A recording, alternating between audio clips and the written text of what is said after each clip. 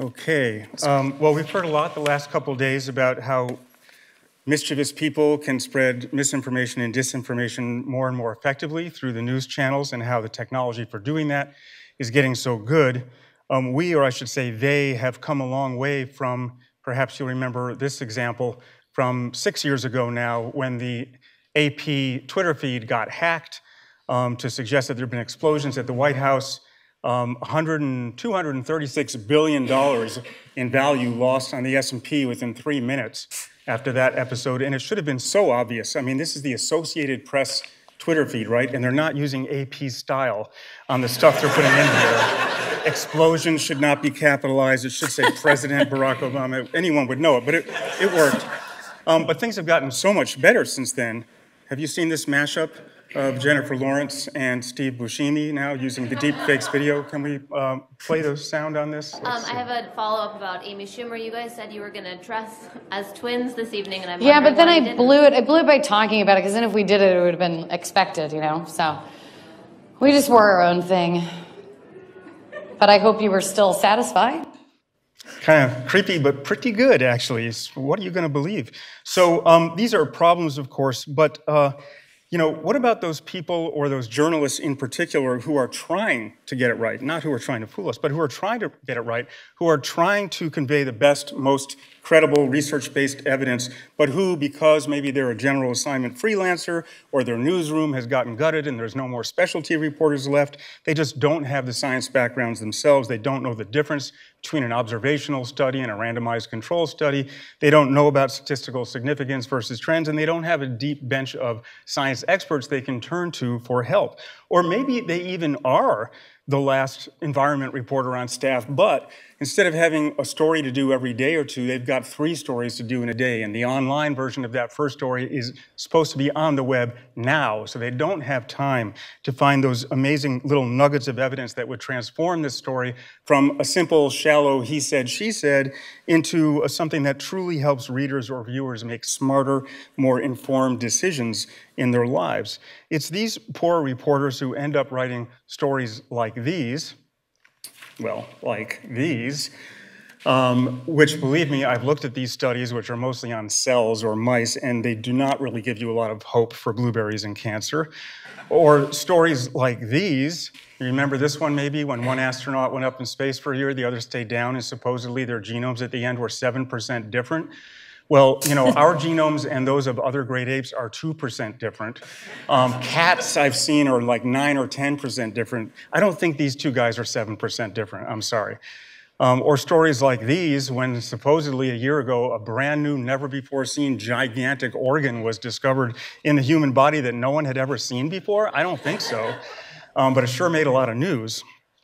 So these are the reporters for print, for radio, for TV audiences that SciLine was created to help, and who we are in fact helping now many times a day through an array of free services that are funded by a half a dozen philanthropies. SciLine was created a year and a half ago in part because as great as all these fact-checking organizations are out there that have sprouted like mushrooms in the last few years and they're wonderful to have out there, they are inevitably too little too late. And wouldn't it be great if we could get to the left of that, get upstream of that, and help people who are trying to get it right get it right in the first place so we don't have to be trying to correct things later. So, how does it work? There's a few things we do. Our bread and butter day to day is our expert matching service. We haven't actually had any babies come out of this yet, but we'll see. Um, basically, you're a reporter, you're working on a story, you need some help from, a, from an expert or a scientist. You get in touch with us with a short form by email. You tell us what your story is about, what your deadline is, what kind of expert you need.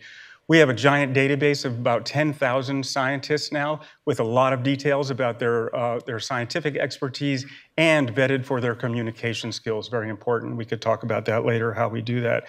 Um, we, we, we, reach out to the scientists in our database who we think are the best match. We confirm with them that they, their expertise does indeed match the needs of this reporter and that they're available within that deadline, whether it's a few hours or a few days. And if so, we share their contact information with the reporter, and the reporter can do their interview, and we get out of the way and just let the journalism happen. Uh, apart from this service, we've also been producing fact sheets. These are super condensed designed for reporters who are hair on fire under deadline pressure, just the facts bulleted that they can easily pluck and put into a story. If you've got an extra inch left in that story, here's a few things you can count on. We produce them in-house and we send them out to a half a dozen experts to make sure they're exactly right, and references are provided for those who want to dig deeper on them. You can see some of the topics that these are uh, available on our website uh, for reporters to look at. We also have been hosting media briefings. Uh, media briefings are held on a Zoom platform, so scientists in the comfort of their own offices get on. We get 40, 50 or more reporters on. The scientists make short presentations on a topic. There's live Q&A, and it's a great opportunity for reporters to get up to speed so they know how to report on some of the topics that you can see here. We're doing one tomorrow, actually, on, on vaping and health. We're also doing boot camps. So we just did a boot camp uh, about a week ago in Illinois, just about genomics, getting reporters up to speed on how genomics apply to various application fields. In agriculture for uh, gene engineered crops, in medicine for personalized medicine, in criminology, in the way that uh, people are sending in their blood for a genealogy test and finding out that their uncle was a mass media, mass murderer. Um, you know, it's good to understand this stuff if you're a reporter. Uh, so the genomics workshop happened. We're now planning our next boot camp, which is actually going to be for political reporters, which we're going to hold in Des Moines, Iowa in August in the lead up to the caucuses there. And the idea there is to give this nonpartisan background on science that will inform some of the issues that candidates are going to be talking about uh, in the lead up to the election. What are the facts about extreme weather and, uh, and climate change in the Midwest? What would it take to really switch over to renewables by 2030 or 2050, as some candidates are saying they would like to do? What are the links, according to the best peer reviewed social science research, between immigration and jobs, immigration and the economy, immigration and crime, so that these political reporters, when they're asking questions of candidates or when they're listening to what the candidates are saying, can hold their feet to the fire because they'll know something about what the research base is behind these topics. So, how are we doing? Uh, we're around for just over a year now, going on a year and a half. We've had nearly 500 requests now from reporters. 97.5% of the time, we've found them at least one expert within their deadline, which again are often very short, um, that they can interview and that they have interviewed. We've, reviewed, we've referred more than 700 scientists, because we often refer more than one to a reporter. 80% of the stories that pop from these interviews quote directly at least one of the scientists we've referred, which we take as some indirect evidence that they're proving useful.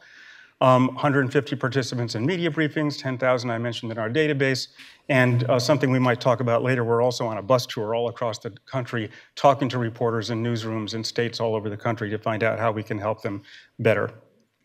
So, what does that really look like? Well, we were able to help a reporter at Bloomberg get that space gene story right. We put her in touch with an epi, uh, epigeneticist who could talk about what was really different about those genomes and what wasn't.